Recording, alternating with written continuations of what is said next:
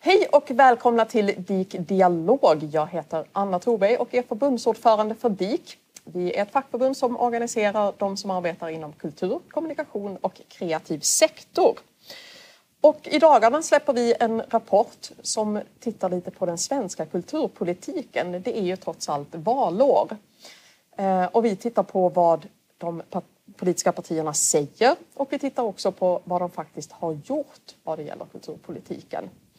Och eh, utan att avslöja för mycket så kan jag kanske säga att man pratar ganska mycket men kanske gör man inte fullt lika mycket. Eh, en som har grävt lite djupare och bredare i frågan kring hur det politiska landskapet kan se ut efter valet, det är du Mats Wingborg. Mm. Eh, och jag ska önska dig varmt välkommen. Tack så mycket, roligt att vara här.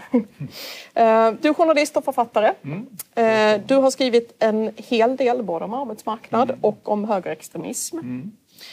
Eh, och strax före jul släppte du boken Blåbrunt Sverige, så påverkas du om högern vinner valet. Mm, mm. Och det är en fråga som våra medlemmar mm, inom DIK ställer sig, eller ställer oss i förbundet och sig själva ofta. Hur det påverkar dem men också hur det påverkar deras jobb inom kultursektorn. Mm. Men jag tänkte vi börjar med att du får leda in oss lite och berätta om, om ditt arbete med boken. boken. Ja, den här boken är ju en undersökning faktiskt kan man säga. Och, eh, den fråga jag ställer mig det är ju hur skulle Sverige förändras om det blev en M-KD-regering som styr med stöd av SD? Jag tror ju att eh, om vi skulle få en, en, den här typen av regering så är den konstellationen den troligaste att Liberalerna inte kommer in i riksdagen och att SD inte kommer in i regeringen. Mm. Men Däremot att det blir då ett skriftligt avtal liknande januariavtalet mellan mm. Sverigedemokraterna, Moderaterna och KD. Och att SD också får någon grupp av tjänstemän, ett slags inre kabinett i regeringskansliet som också Ulf Kristersson har sagt ja till. Och, och jag liksom funderar verkligen ehm, ja, seriöst på den här frågan och går igenom alla politikområden och där kulturen är ett då som vi ska prata mer om här. Mm. Och vad jag gör är ju helt enkelt att jag ser vad de här tre partierna eh, tycker, vad de har drivit i riksdagen, eh, vad de har beslutat på kongresser. Eh, jag besöker också de kommuner där man redan styr tillsammans. Mm. Ja, jag försöker liksom, och, och självklart pratar jag också med andra forskare, oppositionspolitiker och fackliga organisationer och så. Men jag försöker liksom att vända och vrida på det och liksom eh, jag, har, jag är ju absolut oroad över det här men det, det är också en, en liksom empirisk fråga. Vad skulle faktiskt hända? Vad, vad är det mm. troliga som skulle hända? Och, mm. Eh, och det är det som jag undersöker i den här boken. Mm. Och vad är, för våra medlemmar, mm. deras farhåga mm. som, som kommer till oss ganska ofta är så tänk om vi får en, en sverigedemokratisk kulturminister mm, till mm, exempel. det är en väldigt vanlig fråga. Ja, ja. Hur, hur, tänker du kring det? Eh, jag tror ju trots allt att Eh, om det skulle bli den här konstellationen att det, det troliga är att SD skulle bli ett stödparti. Eh, dels finns det ju fortfarande ett, ett, stort motstånd inom Moderaterna och eh, Kristdemokraterna att släppa in dem i regeringen. Eh, och sen, sen är det ju så också, Sverigedemokraterna, man måste ju säga om man ställer upp i val att man vill styra mm. men, men deras tankesmedja och Oikos har exempelvis sagt att, att det bästa i det här läget är att få inflytande genom att vara ett stödparti men slippa ta ansvar. Och, och jag tror mm. lite grann att man har dansk förebild som eh, Dansk Folkeparti som förebild mm. som, som tidigare då valperioder har varit stödparti åt borgerliga regeringar i, i Danmark. Så sen, sen på lite längre sikt kan ju det här självklart ändras. Så. Mm.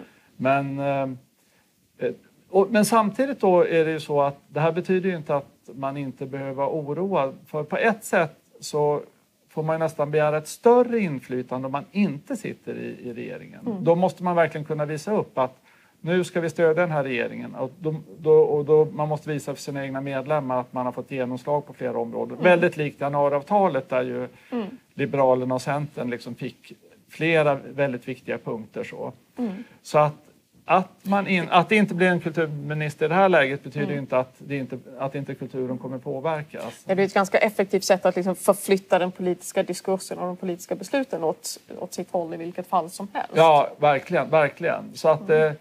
Eh, och, och, och då, ett av de här områdena då, och som är särskilt intressant för er och som mm. jag liksom gräver och, mycket och vänder och vrider på så är det ju kulturområdet. Men, mm. men boken innehåller också internationell politik och arbetsmarknad och mm. familjefrågor och ja, miljöfrågor och all, andra mm. sådana saker. Men när du har tittat på just, eh, jag tycker att man ska läsa boken för alla de här sakerna men eftersom vi nu mm. pratar om mm. kultur. Eh, när du har grävt ner i kulturfrågorna, vad, mm. vad är det där som du tycker utmärker sig eller som du framförallt skulle vilja lyfta? Ja, det, det jag tycker man ska komma ihåg här, ja, en första sak är ju att eh, det här är ju lite nästan unikt att ett sånt här parti skulle kunna få ett reellt inflytande. Det har inte förekommit i Sverige tidigare att ett mm. högerradikalt parti skulle få inflytande. Och vi har precis haft val i Frankrike och för inte så länge sedan i Tyskland. Och där är det så att den traditionella borgerligheten vill ju inte styra eller ha något samröre med de högerradikala mm. partierna. Um, Republikanerna i Frankrike vill ju inte samverka med Marine Le Pen och än mindre med Erik Zemmour. Och, och i, i Tyskland så Angela Merkel vill ju inte ha någonting att göra med Alternativ för Tyskland. Så att här skiljer sig Sverige. Men det jag tycker är viktigt att komma ihåg och, och, och här att jag nämner de här partierna i Europa det är ju att här finns det stora likheter i liksom föreställningsvärld mellan Sverigedemokraterna och de här partierna, bland annat Tyskland och Frankrike, högerradikala partier. Och deras föreställningsvärld är ju att, ja, deras stora projekt kan man säga är att de uppfattar att den, i det här fallet den svenska nationen är hotad och Frankrike är den franska och så vidare. Och, och, svenska nationen, det är ju då de som är i någon mening, det är svårt att riktigt förstå exakt vad, vad det här betyder, men de som Sverigedemokraterna säger är etniskt svenska eller tillhör den svenska nationen och så. Mm. Och det här binds samman utav då någon slags kultur, påstår man. Och så ser man då hot utifrån, eh, migration, kulturella influenser och så vidare. Och deras uppfattning är då att väldigt mycket i Sverige och motsvarande i de här andra länderna styrs och kontrolleras av det vänsterliberala etablissemanget. Det är ett sådant mm. uttryck. Och det här gäller ju liksom kultur i mer snäv betydelse. Det gäller ju mm. bibliotek och, och, film och teater och uh, litteratur. Men det gäller också i väldigt hög grad forskning, det gäller offentlig förvaltning, mm. det gäller akademiska institutioner, skolan mm. och så. Uh, och i deras liksom världsbild är ju om man själv skulle ha den här världsbilden, här är det några som har tagit över och som har styrt in liksom på fel innehåll, så mm. liksom förstår man tankegången. För deras idé är då att här måste svenska staten aktivt bryta det här mm. och liksom byta ut personer, ändra innehåll mm. för att få bort det här vänsterliberala etablissemanget. Och en väldigt stor skillnad jämfört med eh, kulturpolitik idag, det är ju att den svenska staten är ju i ganska hög grad sekulär i den meningen att eh, svenska staten vill ha en mångfald och man ingriper om, om personer utsätts för diskriminering. Men, men det är inte statens roll att pådyvla människor exakt liksom vilken mm. uppfattning de, de, ska ha. Men här finns det en idé om att det, det är liksom vissa föreställningar, vissa uppfattningar som är de viktiga och som mm. ska skydda den här svenska nationen. Så, och, och, under det här ligger ju då att, att staten ska vara mer auktoritär och gå in och liksom styra innehållet i kulturpolitiken mm. för att liksom säkra den här nationen. Då. Sen är det då verkligen så att nu när jag jämför med partier i Europa att mm. det finns också väldigt många liksom nyanser och skillnader eh, och hur långtgående den här nationalismen är och, och man ändå kan tillåta vissa grupper med annan kultur och hur lätt det ska vara att kunna få medborgarskap och sådär. Så att eh, man ska komma ihåg att, att inom den gruppen högerradikala partier i Europa så finns det liksom, ja, väldigt många olika schatteringar. Men det som ändå förenar, och där Sverigedemokraterna är en del, det är en, en ganska auktoritär syn och där liksom staten mycket mer aktivt måste gå in och liksom styra mm. i då kulturpolitik i vid mening. Mm. Och, och, och, det är det som ligger och, och sen från det liksom följer massa väldigt konkreta saker när det gäller bibliotek och förvaltning och akademiska institutioner och media. Och Men då pratar man ju om en extremt hård eh, ideologiskt betingad instrumentalisering av kulturen där man försöker å ena sidan bygga upp någon sorts eh, dåtid eller historia, någon sorts kultur av någon sorts nästan nationalromantisk anda. Mm. Eh, och sen bygga vidare på den genom att, att, att styra kulturen. Absolut, absolut. Ju... Och, det, och, och här skiljer sig ju... Sen en annan komplikation här, för att det är precis som du säger att mm. man har en sån, man ska använda kulturen för liksom att uppnå vissa politiska syften. Så. Mm. Men här är, det, här är det också så då eh, att eh, eh, den här synen finns ju inte på samma sätt inom Moderaterna och KD har lite, Moderaterna har i sitt idéprogram närmat sig Sverigedemokraterna lite grann men det är fortfarande en väldigt stor skiljelinje i, i synen på de här frågorna. Och här blir då liksom nästa fråga om vi tänker oss att de här partierna får eh, majoritet i riksdagen mm. och då, då, förhandlar man. Eh, hur ska det här gemensamma programmet se ut? Eh, och då är det som partierna inte liksom kommer vika ner sig från det är ju sina liksom kärnfrågor. Och min mm. bild är ju då att det som är väldigt mycket kärnan i Moderaterna det har att göra med ekonomiska politiken och, och det man kallar att man, jobbpolitiken och nej till bidrag och så. Och, mm skär i arbetslöshetsförsäkring och sjukförsäkring och sånt. Det är medan för SD så är det liksom migration och den här kulturpolitiken mm. som är det viktiga. Mm. Och det här kan man också väldigt konkret se i de kommuner där, mm. det, där SD finns med i styret är alltid Moderaterna med också, ibland mm. KD och andra, andra lokala partier. Eh, I vissa kommuner har ju liksom den här SDs kultursyn fått väldigt stort genomslag. Mm. Så att det, det, och, och, det som jag är egentligen mest oroad för här det är ju att när man sitter i de här förhandlingarna att ja, Moderaterna och KD driver då hårt med skattepolitik och synen på socialförsäkringar och sånt. Att de då ger SD någonting. Ja men precis, att det blir, det blir lätt att förhandla ja, bort ja, kulturfrågorna. Det, det är ju det som har skett i kommuner. Ja, absolut. Sen, sen är det definitivt mm. så att det, det liksom eh, nu, nu går ju de här liksom fram eh, som en konstellation så, så, att de här partierna kritiserar ju inte varandra för tillfället. Mm. Men jag tror att om, om det skulle bli en sån här situation när de satt och förhandlade så skulle det också bli väldigt tydligt att, eh, tror jag särskilt inom Moderaterna, för där, där mm. finns det ju de eh, som skulle absolut protestera mot det här. Mm. Eh, och det, det, ser man också på kommunal nivå att eh, mm. Eh, ja, ett sådant konkret exempel där är ju i Hörby. Där hade vi det traditionella bråket om prideflaggan, om den skulle mm. hissas på kommunens flaggstång en vecka om året när det var pridevecka. Mm. Och eh, de lokala moderaterna böjde sig för SD, men Moderaterna i Skåne tog liksom Moderaterna i Hörby örat där. Ja, ja, eh, ja, ja för det, mm. det, finns också liksom en stark falang där som är liksom en liberal syn på kultur, att man ska tillåta mm. liksom, olika uttryck och yttrandefrihet och som är något väldigt annorlunda än den här auktoritära synen. Så. Mm. Sen har jag massa synpunkter på Moderaternas ekonomiska politik men det är liksom ett annat område. Eh, men jag, jag, tänker för våra medlemmar då som befinner sig ute i, i, i kommunerna mm. i, i den här ja, verkligheten ja. Och, och, du tog upp exempel med prideflaggan till mm, exempel. Mm, det har ju mm, mm. förekommit i flera ja, kommuner. Vi har ju eh, många bibliotek till exempel mm. är ju också vallokaler och då, mm. så då, mm. då liksom skruvas ju volymen på, på den problematiken upp mm. och det har, har vi mm. också sett på, på några ställen. Eh, vad... Eh, jag gissar ju att oavsett hur det går eh, nationellt så finns det ju en ganska uppenbar man ska säga, risk eller så att, att, att SD får inflytande i fler kommuner efter absolut, valet. Absolut, och, absolut. och hur, hur tror du att de andra partierna kommer att hantera det här? Hur kommer man att, att gå vidare? För det, det kommer ju ställas, ja. sådana här frågor mm, kommer ju mm. ställas på sin spets på fler ställen. Eh, till att börja med så, så här finns ett eh, lite så akademiskt problem för att när det gäller landet så är det väldigt tydligt vilka som sitter i regeringen. Mm.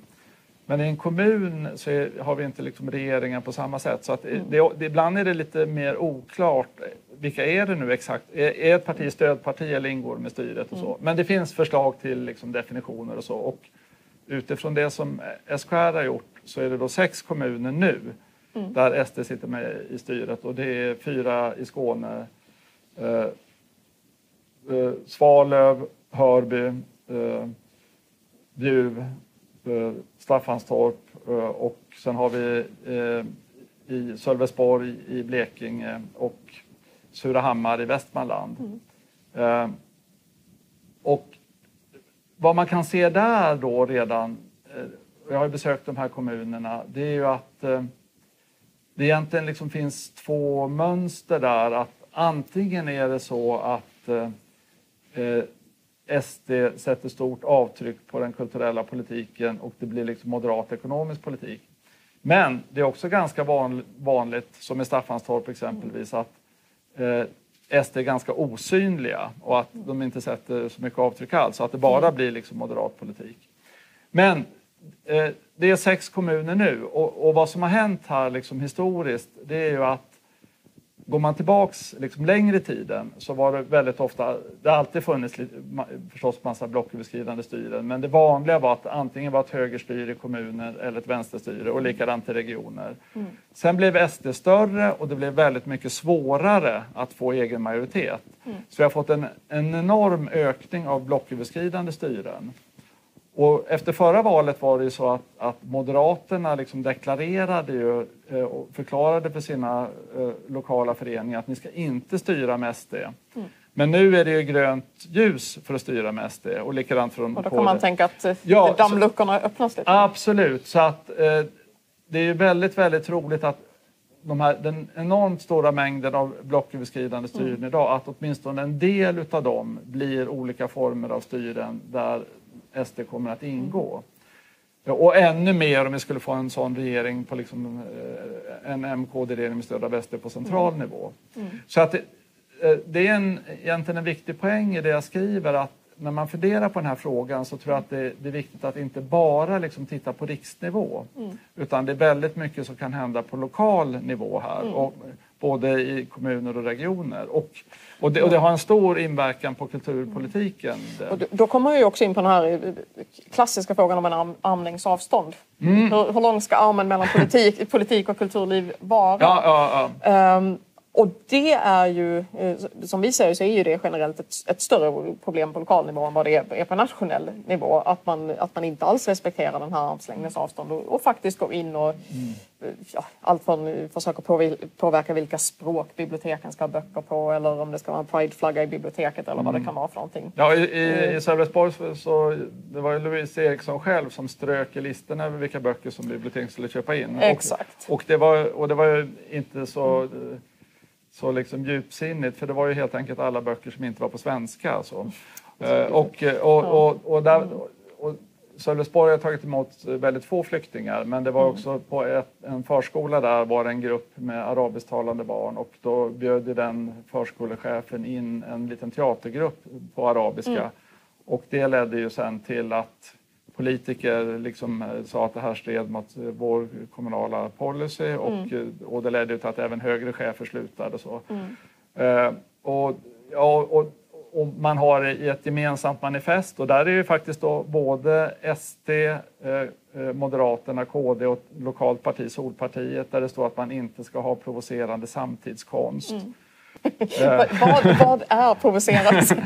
Jag tänker ja. att konst, konst som inte ja, provocerar ja. någon, det känns ja. ju tråkigt på något sätt. Och, och, man har också nyligen rensat ut väldigt mycket konst och böcker från uh, offentliga uh, lokaler och böcker från mm. nu, nu är det så att Eh, alla bibliotek måste ju rensa i böckerna. Ja, ja själv, själv, självklart, men, då, men då gallrar man ju utan, utifrån... Eh, då har vi ju professionella bibliotekarier som gör det Absolut. på grund av rimliga anledningar. Och, och, här fanns det liksom en kritik att arbetarlitteratur rök och sådär. Och, och, så att det, mm. eh, och det var ju flera konstnärer och eh, kulturarbetare som protesterade mot det här.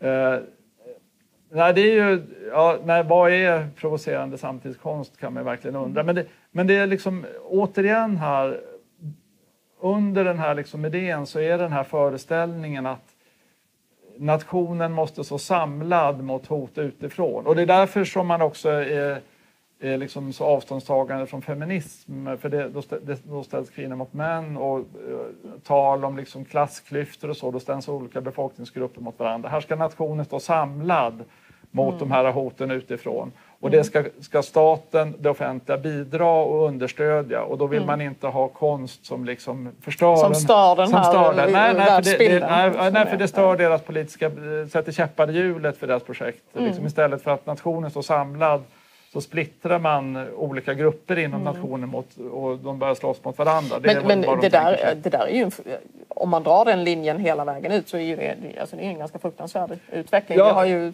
en, byggs på en helt annan tradition i Sverige där, man, där man, konsten ska vara fri. Man, ja, ja, det är det jag menar. Och att, att staten, som jag uttrycker det i väldigt hög grad, är sekulär i Sverige. Mm. Alltså det finns ju diskussion om kvalitet, man kan inte ge alla lika mycket pengar och man diskuterar mm. kvalitet och sånt. Men staten har inte något liksom program att det är några mm. särskilda åsikter eller någon särskild mm. världsbild som man ska föra ut. Utan mm. Det är kvalitet i annan bemärkelse. Så, och det ska vara en mångfald och så. Mm. Eh, staten ska inte ha liksom en specifik agenda där. Och här, mm. här liksom har man en helt annan liksom föreställning om det här.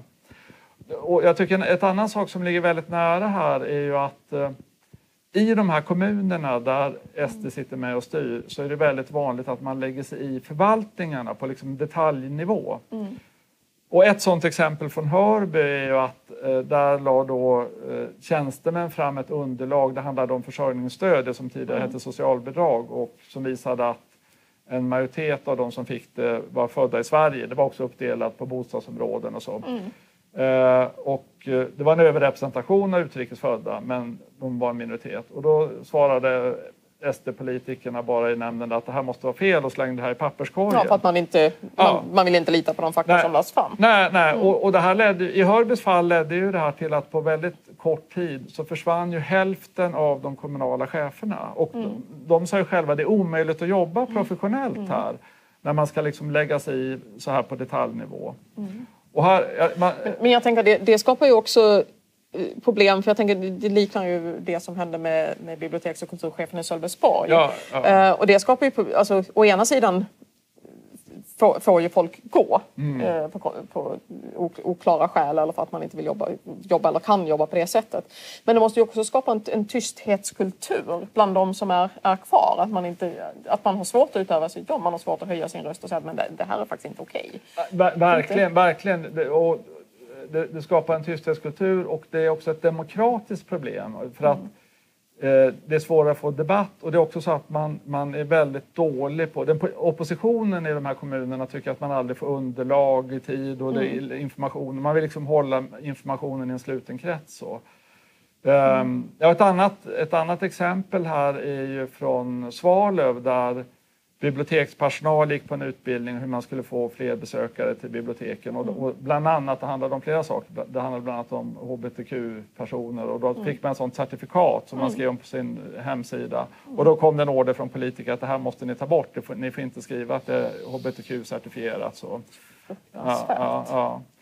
Mm. Eh, Jag tänker också på den här, den här eh, utställningen på Norrköpings mm. stadsmuseum. Ja, ja, ja, precis. Mm. Och där man ville ingripa så, alltså att mm. det inte stämde. Och, och, och, ja, det handlar ju om mm. rasism och antisemitism och så och högerradikala partier. Mm. Uh, nej, det finns liksom, nej, i, I min bok så har jag, det finns mängder med liksom exempel där man har föreslagit att konstverk ska tas bort eller agerat och sånt. Så det, det, är en rad olika sådana exempel folkbildning och mm. folkhögskolor, studieförbund och så. Allt det här liksom står, står i, en, i en måltavla. Public service förstås. Mm. Och, eh, jag tycker själv att man ska vara väldigt eh, liksom försiktig om man drar paralleller. Men om man tittar på Ungern, Polen. Där, ja, I Ungern då med Viktor Orbán och Fidesz och, och Jaroslaw Kaczynski i, och, och PiS i Polen. Mm. Där, där har man ju tagit över kontrollen över media. Det, I Ungern försvann nyligen Klubbradio, den sista oberoende radiostationen. Eh, när det gäller högre utbildning, ett stort universitet har ju fått lämna Budapest. hela kultursfären. Eh, man, man byter ut personer eh, på myndigheter, lägger ner myndigheter, man byter ut domar och så vidare. Mm. Och, så det är ju liksom väldigt långtgående så, men man kan säga det här som sker i Hörby så, det är liksom i miniatyrvariant det här mm. alltså. Och även om vi skulle få nu en MKD-regering med stöd av SD så skulle SD skulle ändå vara liksom beskuret när det gäller det här. Alltså att mm. det skulle inte bli ett nytt Ungern. Men, men det är liksom samma typ av tänkande som, som drar mm. åt samma håll här. Att mm. liksom staten aktivt ska gripa in. Så. Och det, mm.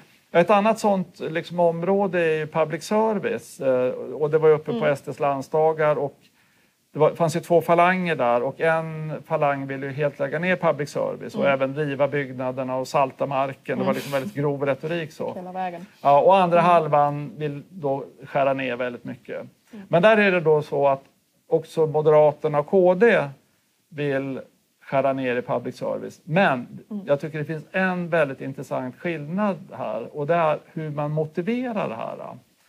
För när Moderaterna och KD pratar om att skära ner public service, det kan man vara kritisk mot, men deras liksom, tanke är att public service ska ägna sig åt kärnverksamhet. Mm. Nyheter och vetenskap och så och mindre åt eh, Allsång på Skansen. Mindre underhållning. Och ja, ja, ja.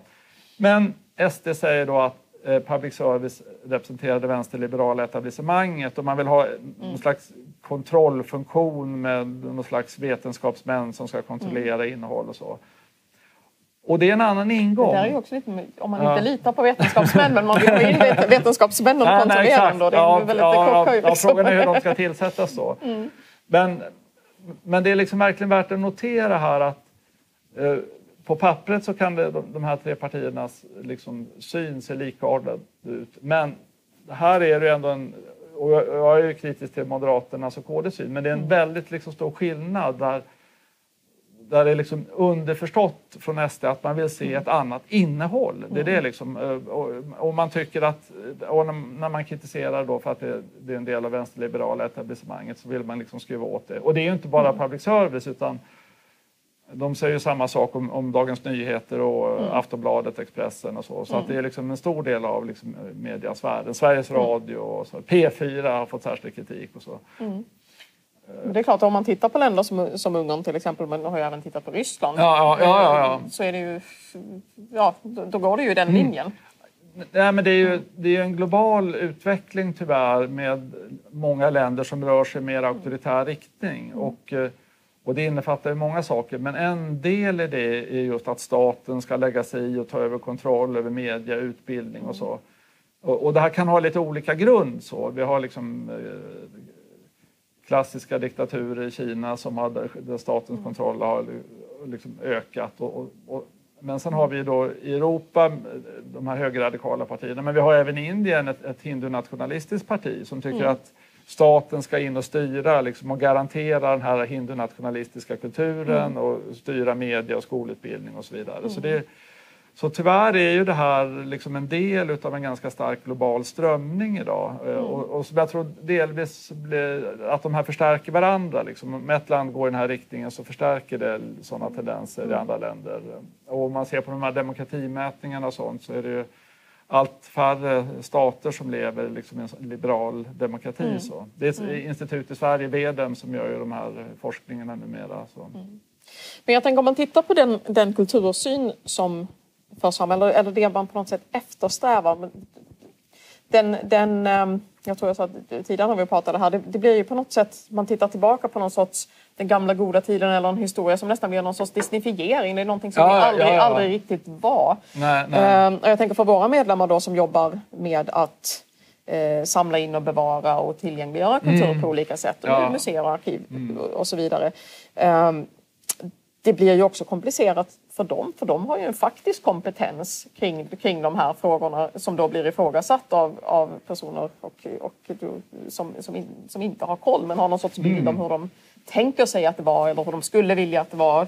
Absolut, och, och, och de vill också använda det här liksom ett speci väldigt speciellt syfte. Så, liksom, mm. och, och det har ju funnits ett vurm liksom för fornnordiska mm. liksom, symboler och sådär. Och, och, mm. och, det du nämner här tycker jag det är liksom väldigt eh, typiskt för, för liksom deras världsbild. De målar ju upp ett idealiserat förflutet, kanske 50-tal, mm. men det de beskriver är något som liksom inte har funnits så. Mm. Och sen vill de ha en ganska radikal politik för att komma tillbaks dit, så, mm. till det här gyllene förflutna. Liksom. Mm. Och, eh, och det är därför jag också vänd, Sverigedemokraterna kallas ju själva idag för konservativa och mm. det, det vänder jag mig emot för att Eh, för mig är en konservativ person, jag som Edmund Burke, eh, brittiska filosofen, en person som vill gå väldigt försiktigt fram och liksom mm.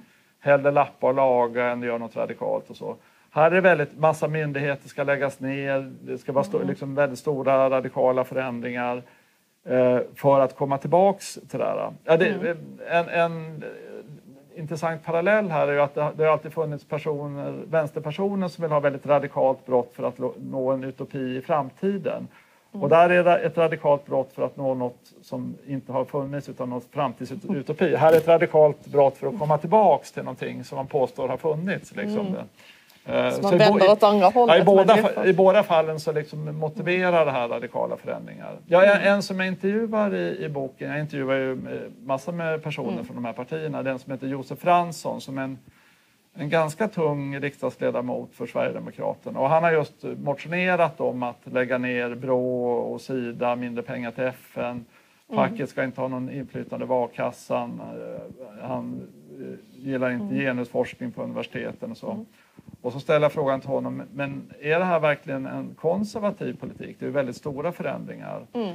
Och då svarar han så här att eh, eh, socialdemokratin har länge liksom påverkat ideologin väldigt mycket i, i, Sverige. Så att först behövs det en väldigt radikal förändring, sen kan vi gå mer långsamt fram. Ja, ja. Mm. Eh, och det, och, men det var ganska liksom, talande för hur man tänker, tror jag. Mm. Så, eh, så att det, det är, det är snarare tvärtom. Ja, för mig är som sagt en konservativ politik det är att gå väldigt försiktigt eh, fram. Ja, Burke mm. reagerar mot franska revolutionen och så. så att, eh, mm. Ska man ändra något ska det vara väldigt långsamt och i små steg och så. Mm. Men här är det verkligen stora radikala steg som ska ske snabbt. Och, mm. så det, eh, så att det finns ju massa beteckningar för den här typen av, av partier och all, det ligger någonting i alla med nationalism och högerpopulism och så. Men jag använder väldigt mycket den här beteckningen högerradikala partier just av det skälet. Så. Mm. Men jag tänker också om man tittar på, på eh, de olika partierna och hur intresserade de är av, av kultur. Som jag sa tidigare, mm. alla, alla partier säger att de tycker om kultur och vill göra mm. saker med kultur men det, mm. det är inte jättemycket verkstad. Um, men SD är ju väldigt aktiva i sin kulturpolitik och jag tänker att de andra partierna måste på något sätt möta upp det med mm. någonting bättre. Men jag upplever att det blir ett, ett, ett vakuum där SD liksom kan agera ganska fritt eller vad vi ska säga. De får ett alldeles ja. för stort spelutrymme. Absolut. De andra skulle kunna göra mer. Och, och, man driver ju verkligen. Det är inte bara där man är med och styr utan mm. även när man är stödparti eller oppositionsparti så driver man ju det här i regioner och många kommuner. Och det är väldigt ofta att dra in pengar till studieförbund och folkhögskolor, mm. konst överhuvudtaget, eh, eh bibliotek. Eh, eh, och, och, det har den här liksom ideologiska prägen. Det, men det som är farligt här är ju då att jag, jag vill ju se liksom ökade satsningar på kultur överhuvudtaget. Så. Men, mm. men det som är farligt här är ju när det här liksom förenas med... Eh, liksom helt, ja, det är ungefär som med public service. att mm att man kan ha då eh, moderater som tycker att det viktiga är att sänka skatten liksom, mm. och, att, och då måste man spara väldigt mycket och då mm. allting som inte är nödvändigt ska liksom skäras bort. Mm. även om de inte liksom har... De, eh, moderater kan tycka olika men min bild är att ändå här är en väldigt stor skillnad mot SD. Att, eh, att man har inte det här syftet att liksom staten ska aktivt användas för att liksom driva en, en särskilt eh, innehåll i kulturpolitiken. Men så mm. kommer det ändå förenas här liksom med att stoppa mm. det fria kulturutbudet. Mm. Av liksom, fast man har liksom olika plattformar, olika idéer om det här. Mm. Uh, så, så, det... Ja, och public service är ju ett sånt uh, fall ändå här att uh, det är en uppenbar risk här att Eh, med en sån här regering så skulle det bli en rejäl nedskärning av public service. Men som sagt, det här gäller i kommuner och regioner på massor med områden med liksom mm. kultur, folkbildning, stöd till kulturyttringar, fria teatergrupper och, och kulturskola och alla Ja, de, ja, alla ja, ja, musik och ja, mm. hel, hela den delen. så. Mm. Men vad tänker du om vi, om vi tänker, vi har ett val framför oss nu ganska snart, inte ens tre månader dit. Um, du har målat upp den bilden som du ser skulle kunna hända. Um, valet efter det då, liksom, vad, hur ser det ut om man tar ett lite längre perspektiv? Ja, alltså det, vad man kan konstatera i Sverige är ju att det politiska landskapet har ändrats väldigt, väldigt snabbt. Mm. Eh, Anna Kinberg Batra sa att SD var rasist och kunde absolut inte tänka sig samarbeta mm. med dem. Och det var också alltså så efter förra valet 2018 så gick det då alltså ut på bud från Moderaterna. Ni ska mm. inte till de lokala föreningarna, ni ska inte samverka med SD. Mm. Så i Staffanstorp och, och Sölvesborg och sånt så struntade ju de lokala mm. moderaterna i det helt enkelt. Och, allt, och, och i, i Bjuv så blev det ett maktskifte efter, en, efter att det gått några månader efter valet eh, i slutet av 2018. Eh, och eh, där var det så att en liberal Sven-Ingvar Blixt plötsligt bytte sida och ville stödja Moderaterna och SD-styret. Och han blev mm. omedelbart utesluten ur Liberalerna. Mm. Eh, och, och, och eh, när Moderaterna började styra med SD i Staffanstorp så var det flera ledande moderater som skrev artiklar och protesterade. Gustav mm. Reinfeldt, Fredrik Reinfeldts son, skrev en stor mm. artikel där han protesterade mot det. Mm. Och det här verkar, plötsligt verkar det jättelänge sedan liksom, att uh, här är moderater som protesterar mot att man ska liksom, mm. samverka med SD. Så att det har ändrats väldigt snabbt nu och det kan mm. fortsätta att förskjutas väldigt fort. Så.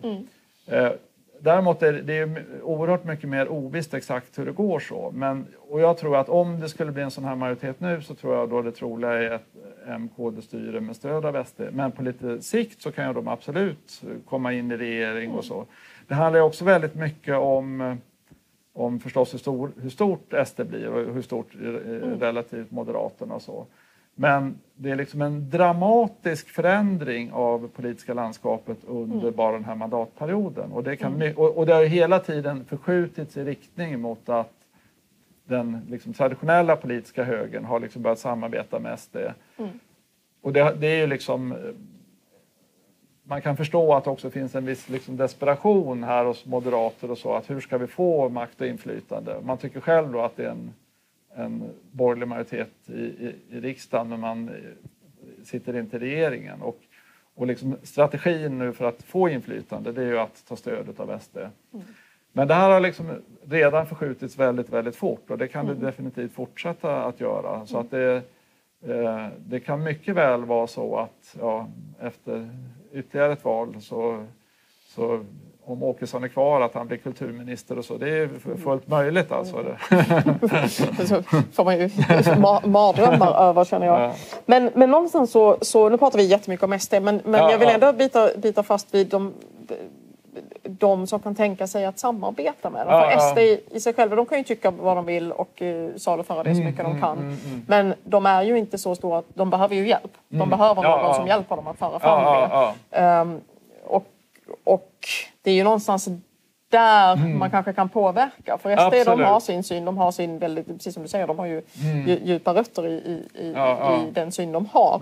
Mm. Um, men det är ju de andra partierna som man skulle kunna påverka på olika sätt för att in, inte ge bort vår kultur till Absolut. Till och, om man då tittar på de här olika, nu, nu är ju liksom Moderaterna och, och KD har ju gått, det är de som egentligen har gått allra mest i bräschen för att ta mm. stöd av SD och det var ju det är de som har, har brutit eh, januariavtal och sådär. Mm. Och, um, och om man ser på deras eh, på medlemsundersökningar eller opinionsundersökningar så ser man att det inom KD har funnits eh, liksom, eh, mm. star, när man ser på näst bästa parti och sånt, ett ganska starkt stöd för SD.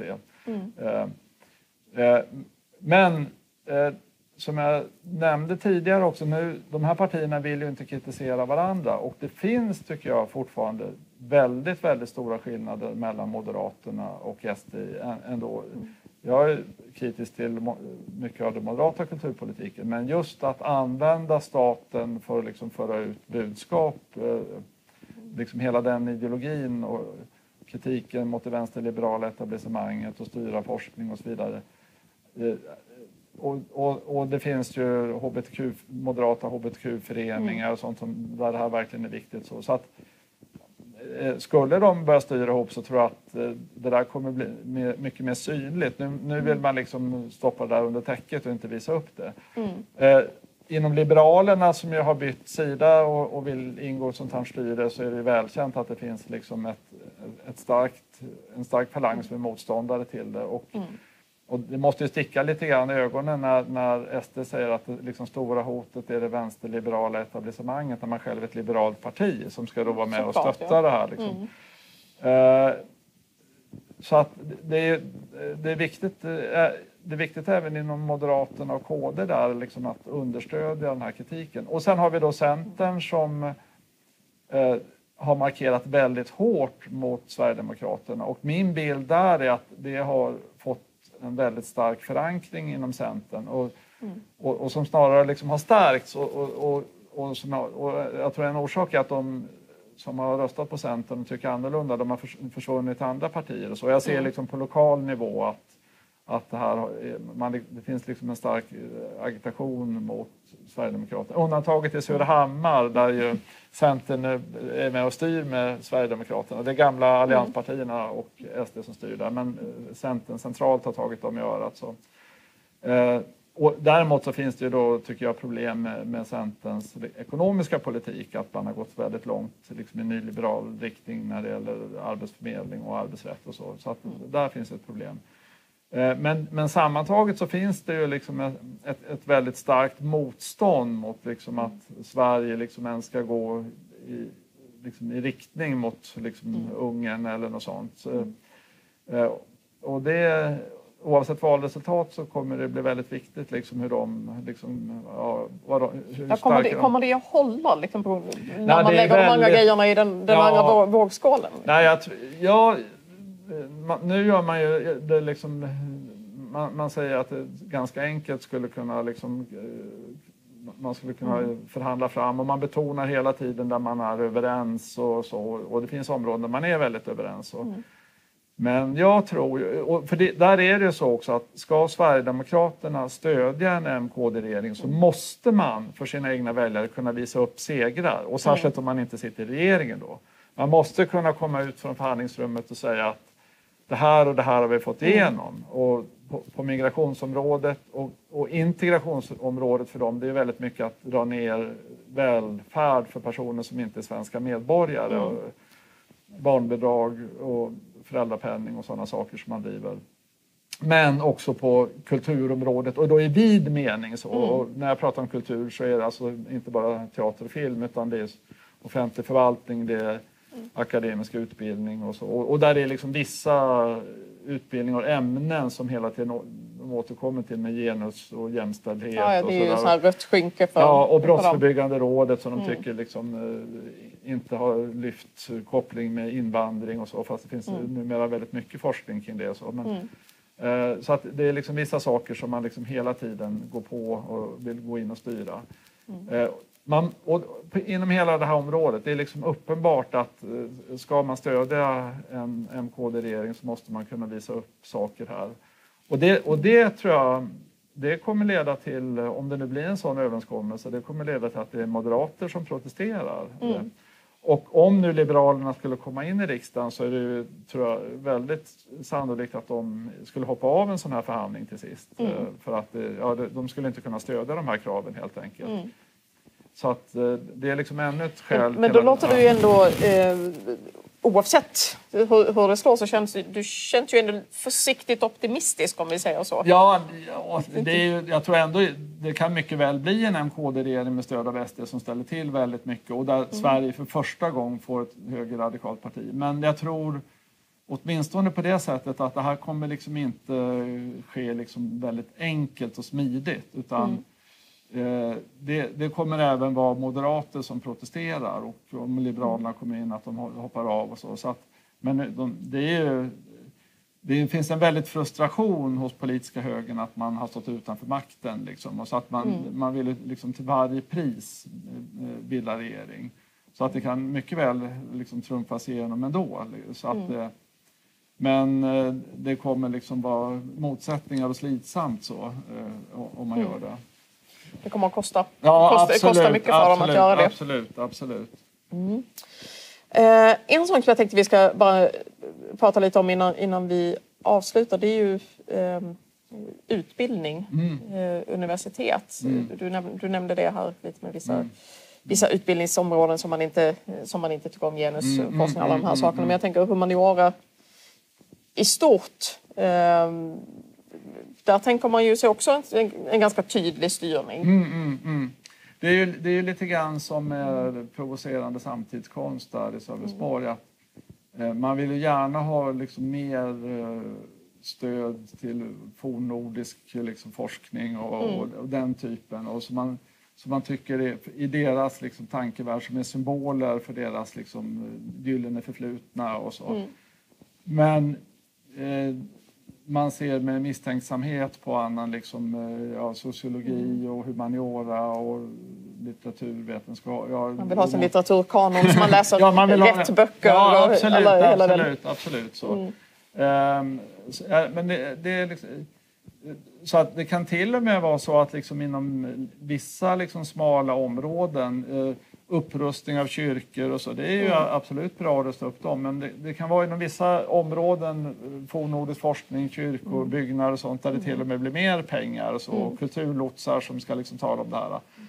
Men, men det som är liksom så, återigen så liksom tydligt här det är ju att eh, ja, det är en föreställningsvärld om, som har att göra med själva liksom innehållet. Det, det är ett visst innehåll i liksom forskning och så som ska liksom styras. Och sen, och sen tror jag återigen då att eh, det här kan vara ganska frustrerande för dem som är inom det här området som inte gärna vill liksom... eh, De blir, li- de blir Man vill inte placerade... förknippas med det. Man har en kompetens som säger att det där Ja, stämmer inte riktigt. De liksom. blir, de blir placerade liksom Ja. Mm. som symbol för, för det här, den, den liksom sanna svenska kulturen och så, och som de inte alltid själva är så liksom bekväma med. Precis. Det, så, Såklart, det skapar ju bekymmer. Ja, ja, Yes, jag tänkte att vi skulle, det är extremt intressant det här, men jag tänkte att vi skulle runda av lite grann och ehm, vad det, det, det är ju en bred och stor fråga, men jag tänker vad, vad skulle ditt råd vara eh, dels för andra politiska partier vad det gäller kulturpolitik för att liksom mota den här utvecklingen i grind,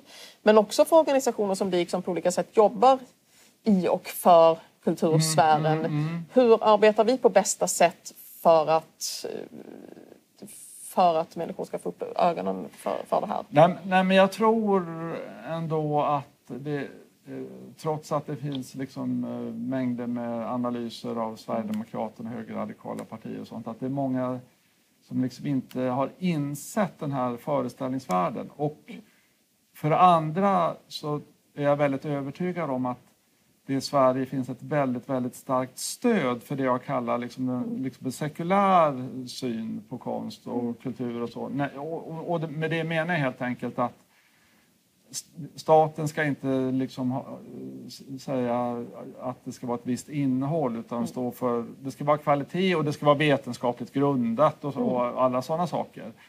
Eh, men, eh, men, inte, men staten ska liksom inte ha som syfte att liksom sprida vissa liksom föreställningar och, och så utan eh, utan, eh, istället, och däremot så ska ju staten ingripa om det är personer som blir diskriminerade på grund av religion eller kön och så vidare. Eh, eh, och, jag, och, och, väldigt, och jag, jag skulle vilja säga att i Sverige, och skolan är en sak där, Sk- skolan ska lära ut saker som bygger på vetenskaplig grund och så, men det är inte skolans uppgift att se till att barnen blir kristna eller muslimer eller så vidare, utan tvärtom bör liksom skolan inte liksom sprida bestämda värderingar eller andra typer så.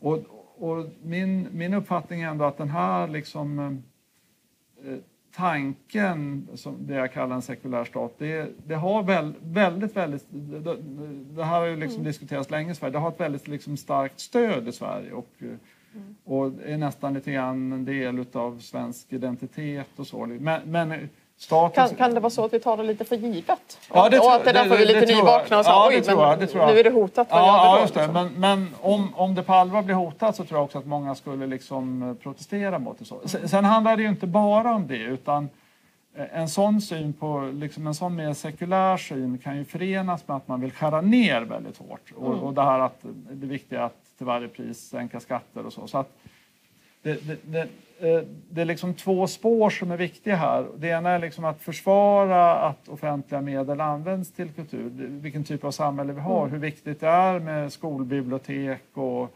musik och vad det här betyder ja, för att leva ett gott liv så helt enkelt. Eh, Så det är det ena. Och det andra är att liksom staten ska liksom hålla tassarna borta när det gäller liksom att propagera för ett särskilt innehåll och så. Så, så båda de sakerna tror jag liksom man ska hålla levande. Så. Det, Då känner jag någonstans att det gick på rätt väg. Vi, vi långsiktig, god finansiering till Ja, kulturen. ja, ja. Ska lita på de som arbetar i, inom kulturen, deras kompetens. För det är ju det det handlar om. Politikerna har inte den kompetensen, ska inte vinna och styra. Eh, skolbibliotek var du inne på, jätteviktigt. Det är ju också ett sätt att förkovra sig och bilda sig en uppfattning och skaffa erfarenhet och kunskap. Så det känns ju som vi är på rätt väg i alla fall. Men det, Ja, det, men det är ju en, en fight som inte på något sätt är över på det måste vägar. man ta hela tiden och, eh, och biblioteken har det varit massa nedläggningar bibliotek och skolbibliotek är hotade på många skolor och så. så att det, och, det, och det är ju också för hela Mm. vetenskaplig kultur, bildning och. Läsandet är ju liksom en sån Mm. otroligt viktig grundval för det. Så att det, det är ju enormt viktigt. Så. Det där är ju spännande. Vi avslutar lite på läsning där, för det är på något sätt Ja. grunden till, till allt vi pratar om till kunskap. Mm. Ehm, det är ju väldigt svårt att hitta en politiker från något parti som inte tycker att, att läsning är jätteviktigt. Men när det kommer till kritan och sen se till att det faktiskt sker, till exempel ja. då se till att, att eh, alla elever har tillgång till ett bemannat skolbibliotek. Mm, Då är man inte lika snabb att faktiskt se till att det sker. Nej, nej, precis. Eh, precis. Det, jag brukar säga att sällan har väl så många politiker varit eniga om en fråga och ändå inte liksom kommit till skott. Nej, det är väldigt slående med skolbiblioteken ja. tycker jag. Det verkligen. Ja. Men jag tänker, eh, kulturpolitiken brukar ju säga, man brukar säga att det, blir aldrig en, en, en valfråga, det är alltid andra saker. Så, men jag skulle vilja säga, och om jag lyssnar på dig, att det är en dold valfråga. Ja, nej, ja, det borde verkligen bli en valfråga den här gången. Och, och, och det beror ju på att för första gången någonsin i Sveriges historia så kan vi få ett högerradikalt parti som får ett rejält inflytande och som har, tycker jag, då, en väldigt annan kultursyn. Också då än Moderaterna och KD som man säger att man vill samverka med. Och där man nu försöker släta över de här motsättningarna. Så det, det är liksom någonting väldigt dramatiskt som kan ske i Sverige här. Så det, det hoppas jag att det kommer upp i valrörelsen. Vi får se till att det gör det, vi får göra så gott vi kan. Ja. Eh, tack så hemskt mycket Mats. Eh, och tack till er som har tittat. Och jag vill uppmana er att hålla utkik efter DIKs rapport och hitta Mats bok Blåbrunt Sverige. Så påverkas du om högern vinner valet. De finns väl i bokhandel ja. nä- nära, nära dig helt enkelt. Tack så hemskt mycket. Jätteroligt att få med. Tack. Tack.